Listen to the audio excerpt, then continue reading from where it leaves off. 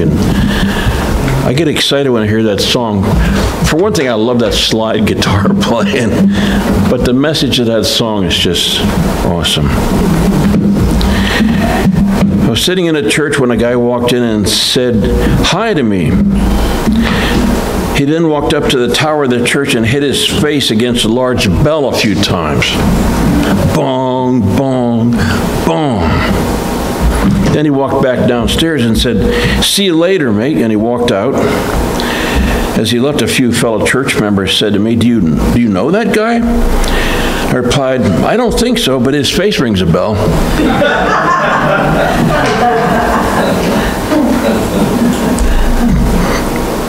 we don't have a belfry here. pastor is looking forward to dinner with a family in his congregation after church on Sunday. The pastor approaches the family and confirms the dinner uh, for the coming Friday. After making small talk for a few minutes, the pastor turns to the couple's five-year-old. He says, have your parents told you what they'll be making for us on Friday? The child thinks, a second replies, goat. The pastor squinted and exclaimed, Goat? As the parents are speaking up to clarify, the child cuts in boldly. He says, Yeah, yesterday I heard mommy and dad, mommy tell daddy that Friday is as good a day as any to have the old goat for dinner. so we're going to have some scrumptious old goat on Friday. This sermon is a little bit of a sort of a continuation of last week's, and it's kind of a hybrid between something I preached uh, four or five years ago. And you're familiar with this verse, Second Chronicles 7:14. And this is an, a needed verse to, today as it ever was. If my people who are called by my name will humble themselves and pray and seek my face and turn from their wicked ways, then I will hear from heaven and I will forgive their sin and I will heal their land. Would you bow your heads? Dear Lord, as we enter into this sermon portion of the service today, we thank you, Lord, for the word and the power that's in the word that you have given through your Holy Spirit to these words, Lord. They're not just ink on paper, but they are powerful messages in your words, Lord. So we just pray that you will anoint this word as it goes forth and bless it to us today in Jesus, in Jesus' name. Amen. Some call this a Christian nation. I wonder if a nation can be a Christian nation. We will one day have a Christian world. Amen. We will. All the enemies of Christ will be destroyed, and he will reign unopposed for a thousand years. It can be asserted most definitely that this nation was founded on Judeo-Christian principles. Some scholars like to, to claim that the founding fathers were deists. A deist is one who acknowledges that God exists, but that he has no interest in human affairs. So, but did the founders identify themselves as Christians, did they? Some scholars claim that they did not. In 1776, every European American, with the exception of, uh, of 2,500 approximately Jews, identified himself or herself as a Christian. Everyone except for the Jewish people identified as a Christian. Moreover, approximately 98% of the colonists were Protestants, with the remaining 1.9% being Roman Catholic. According to Dr. Robert Jeffress, you know who that is? Robert Jeffress, television guy. He has a big church, I think, in Dallas. He says, in fact, 52 out of the 55 signers of the Constitution, the framers of the Constitution, were evangelical believers. In other words, they had a heart after God like we do. 52 out of 55. The very same men went on to form organizations like the American Bible Society, the American Tract Society, and the Philadelphia Bible Society. They were hardly neutral toward the Christian faith. Every state had their own articles of qualification for what it would take to hold office in that state and what it would take to qualify to go to constitutional convention. Article 22 of the Constitution of Delaware said every person who shall be chosen as a member of either house or appointed to any office or place of trust shall make and subscribe to the following declaration. I do profess faith in God the Father and Jesus Christ, his only Son, and in the Holy Ghost, one God, blessed forevermore, and I do acknowledge the Holy Scriptures to, uh, to the Old and New Testament to be given by divine inspiration. How far we've come from those days. How far we've drifted. And he says, and he continues, that is not particular to Delaware. Many of the state constitutions said the very same thing. The very same people who crafted these kind of requirements are the people who attended our Constitutional Convention. From George Washington's diary, he writes, Let my heart, gracious God, be so affected with your glory and majesty that I may discharge those weighty duties which thou requirest of me. Again, I have called on thee for pardon and forgiveness of sins, for the sacrifice of Jesus Christ offered on the cross for me.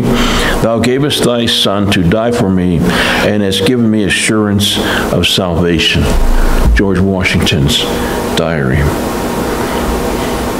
I'm a, I'm a Christian but I live in a world that's hostile to God, hostile to the church, hostile to Christian beliefs, hostile to the Bible and the principles that we live by. I'm in this world, but I am not of this world. Until Christ returns, True believers can expect hostility from the world because Satan is the God of this world. There's nothing new about it. John 17, 14 to 18. Jesus speaking to his Father I have given them to you.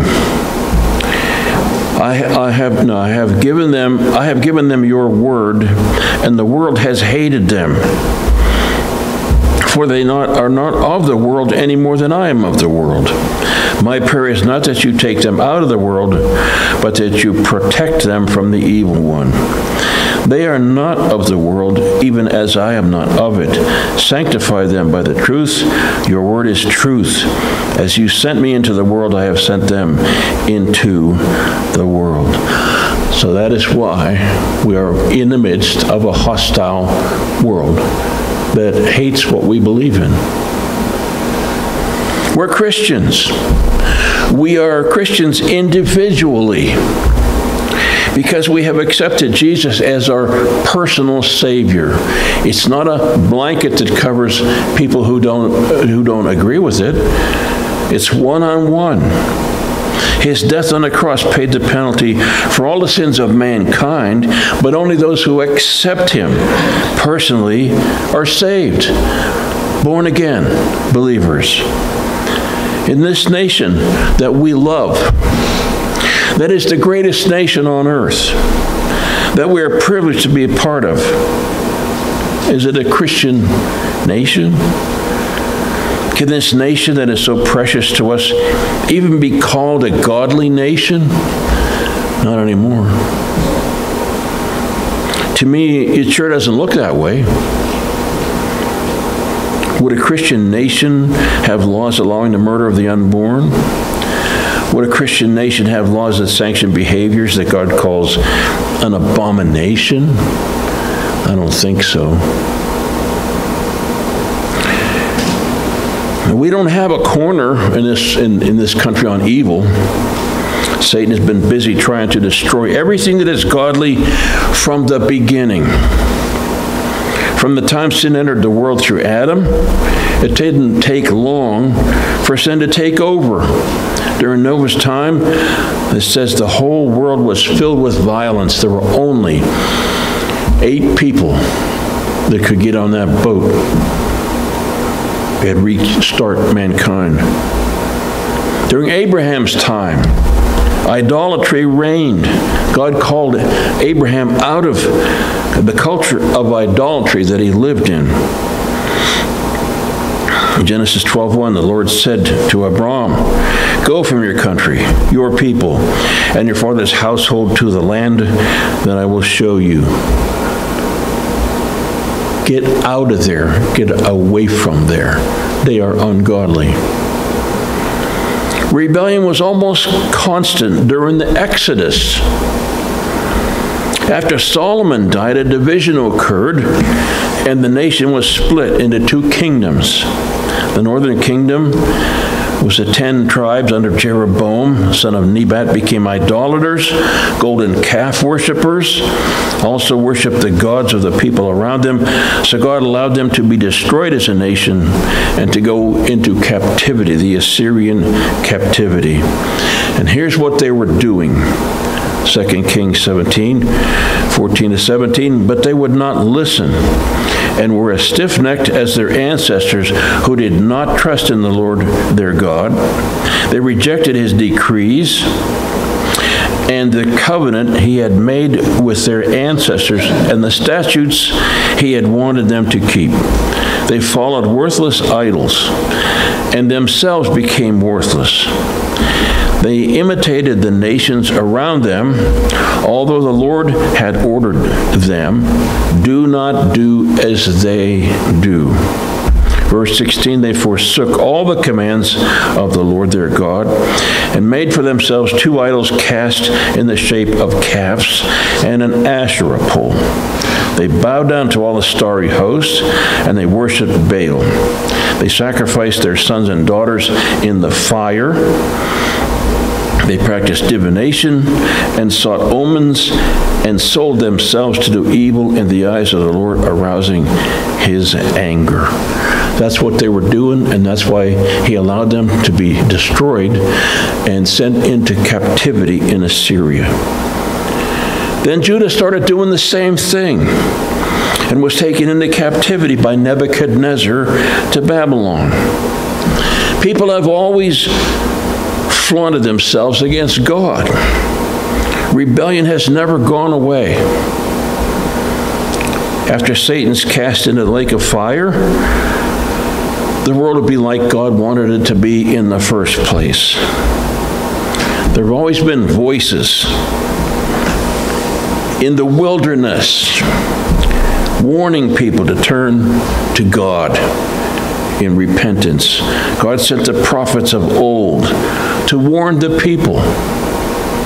Even in Jesus' day, God sent a prophet, John the Baptist, to prepare the way of the Lord. The wilderness of Judea, where John preached, had six cities. It was not a total desert without people. But John the Baptist had a calling and a purpose from before he was born. Don't think I need to, to read uh, all that, but he, he was called to prepare the, way of the Lord. The place where he appears first is in the wilderness of Judea. In the wilderness, Beth Arabah, Medine, Secacah, Nibshan, the city of salt, and En Gedi, six towns and their villages. He came preaching. Matthew 3, 1 to 3. In those days, John the Baptist came, preaching in the wilderness of Judea and saying, Repent, for the kingdom of heaven has come near. This is he who was spoken of through the prophet Isaiah, a voice of one calling in the wilderness, Prepare the way for the Lord, make straight paths for him.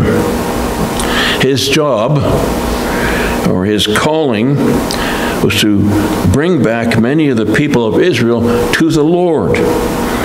His calling was to awaken those who heard him a sense of sin and a desire for righteousness. This was the preparing the way of the Lord. He came not fighting nor disputing, he came preaching. He made preaching his consuming passion. He was a priest in the order of Aaron, but we never see him in the temple sacrificing or carrying out the duties of the priesthood. Instead, we see him in the wilderness of, of Judea. He was appointed from before birth to call or to cry out in the wilderness, Repent, for the kingdom is near. The Bible says he wore a garment of camel hair. It says that he ate locusts and wild honey. Did you ever see a locust? It's a giant grasshopper about that big. So he was a bug eater. He ate locusts and, well, I guess you, I should probably try a couple of grasshoppers sometime. We could get together and have a, have a meal, and catch some grasshoppers and fry them up. You want to do that? Probably not. and honey, we could have locusts and honey. We could see what, he, what that was like. But he was separated from the worldly influences and totally given to his mission. Austerity, having a camel hair garment was austere. People wore linen and wool in those days. But that made him seem like a crazy man, a weirdo an oddball or a misfit, but people gathered around him because of his message. If he'd have gone out there in the priestly garbs, you know, they would have just said, ho hum, we'll just do this or that. But because he was strange and different, that didn't attract them. What attracted them was the message because it was God's word. They gathered around him because the religious leaders of the day were corrupt the temple authorities were more absorbed in their appearances, their authority, their rules and regulations than the core or the essence of worship. They had made their office about their own glory instead of about the coming king. John didn't want to look anything like them. He didn't want to live anything like them. He lived a separated life.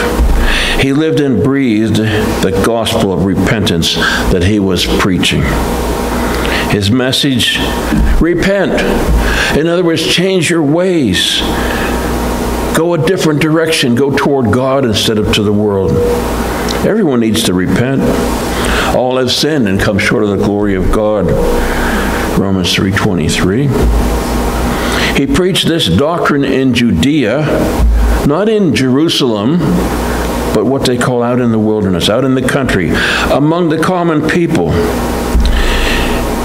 People who will be found in these bleak and less sophisticated surroundings. He preached it among the Jews, a religious people.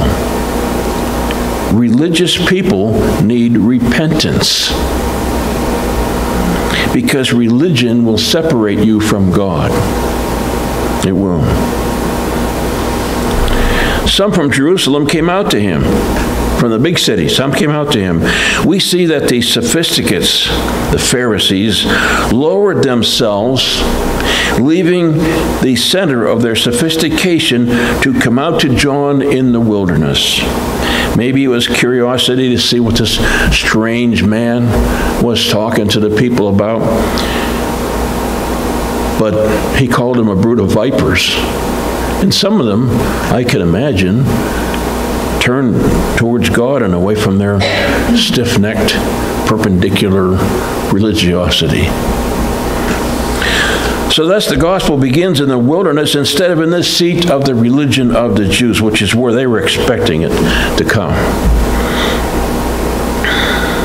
The wilderness speaks of the coming of the gospel to the Gentiles. The Gentiles are in a wilderness. The Jews at least had prophecies about the coming of a Savior. The Gentile world was in a spiritual wilderness. Have you ever been there? Probably. That's what you came out of. That's what we all came out of. All of us who know the Lord as Savior were at one time in a wilderness. The wilderness wherein finds us away from God. Can you remember being away from God? That's the wilderness. The people that John went to in the wilderness were unsophisticated, common people. But they were, but they were religious. They knew about the law and the prophets, but knowledge doesn't get us close to God. Knowledge doesn't get us close to God. Sacrifice doesn't get us close to God. Only repentance and receiving Christ as Lord and Savior can remove the separation from God. John was preaching change. Repentance without change is no repentance at all.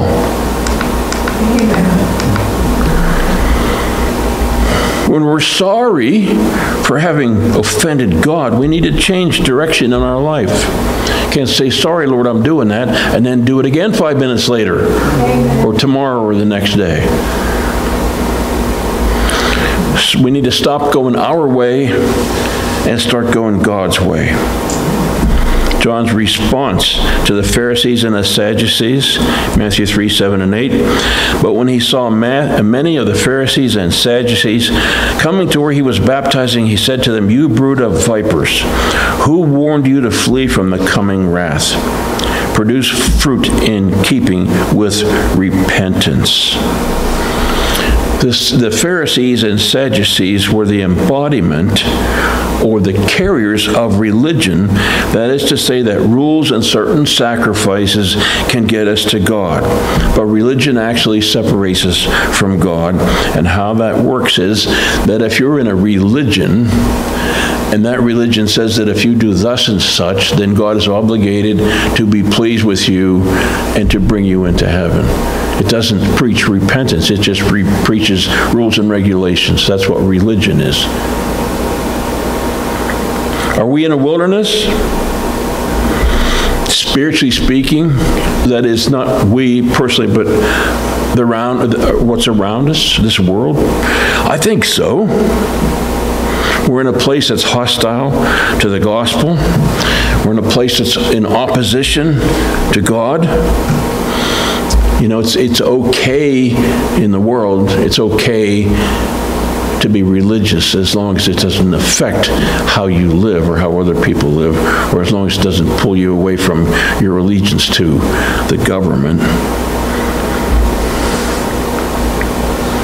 Proverbs 2 12 to 15 Wisdom will save you from the ways of wicked men, from men whose words are perverse who have left the straight paths to walk in dark ways, who delight in doing wrong and rejoice in the perverseness of evil, whose paths are crooked and who are devious in their ways.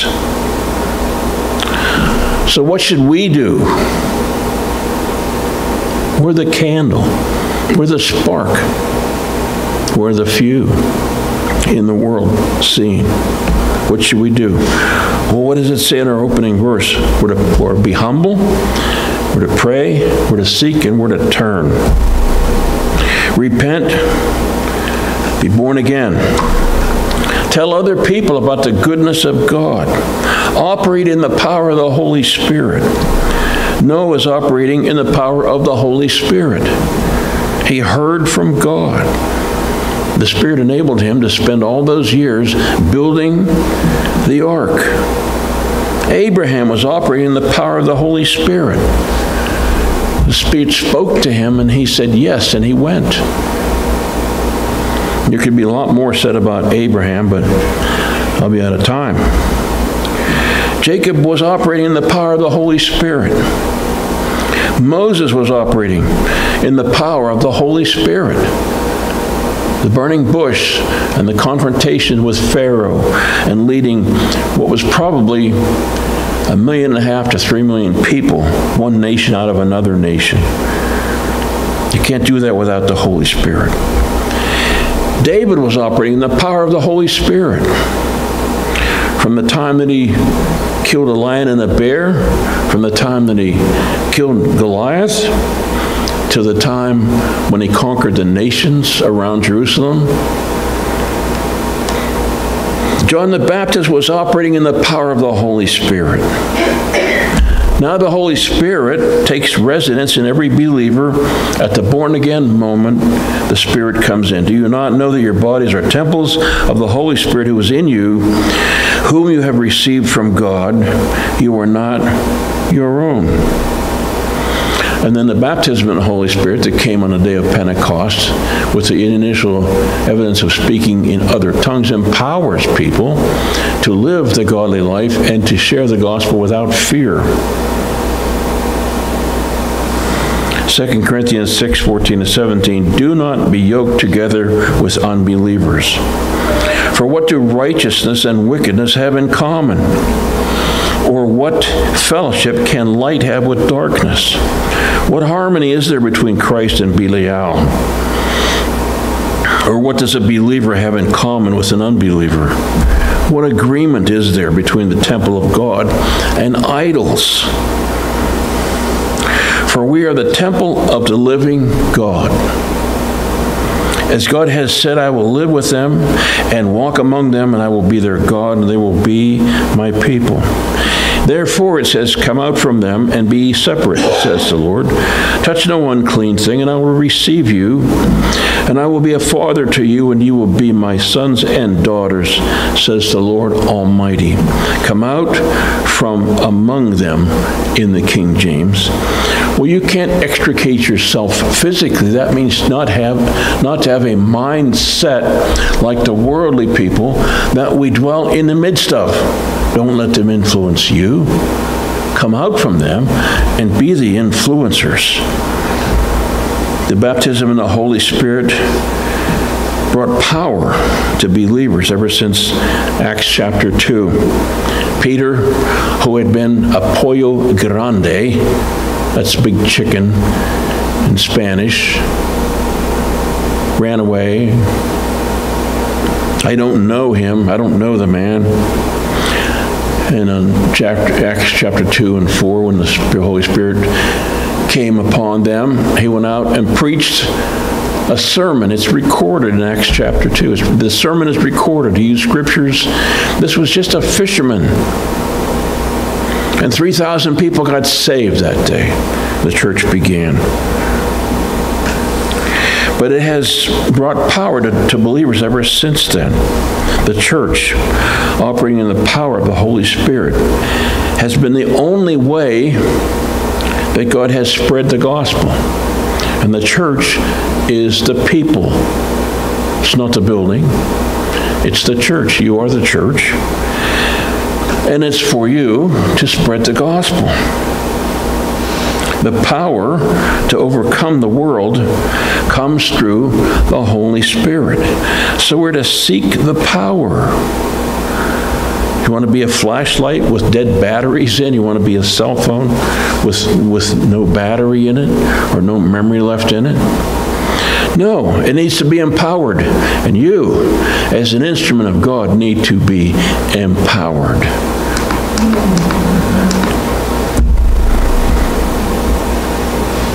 If my people who are called by my name will humble themselves and pray and seek my face and turn from their wicked ways. Then I will hear from heaven, I will forgive their sin and will heal their land. My people, called by my name, we need to humble ourselves, be in prayer, seek the face of God and turn from any sinful ways that are in us. And if we all do that, then He's going to hear us from His place in heaven, forgive their sin, and heal their land. This land needs a healing. It's in bad shape. And it's just not us, it's the world. It's in bad shape. And I think that's, I think that's knocking on heaven's door. I think God's rolling up his sleeves, getting ready to straighten this mess out.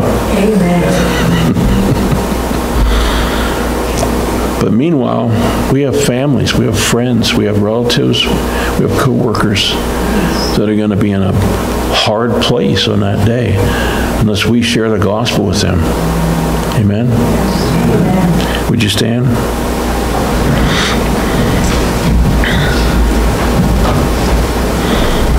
Dear Lord, and all through your word, we're challenged, Lord, to share the goodness of our God and not just to keep it to our own self, Lord. We're challenged to do that.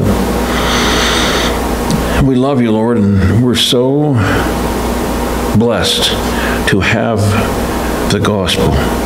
We're so blessed to know that Jesus suffered and died to pay the penalty for our sins, to make it personal, to have the Holy Spirit that brings that, to, that makes that change in us. And we pray that you will empower us, Lord, just to spread that gospel without any fear. We pray, Lord, that this, that this challenge, uh, which I repeatedly do, will fall into hearts that take it very seriously. And um, we are all evangelists, we are all witnesses, we are all soul winners, not just certain ones who have a thing after their name. But all of us, Lord, we pray that that challenge will stay on us and with us, Lord. We ask right now as we go our separate ways that you would dismiss us in your grace, bring us all back safely next time we meet. In Jesus' name, amen. Need to see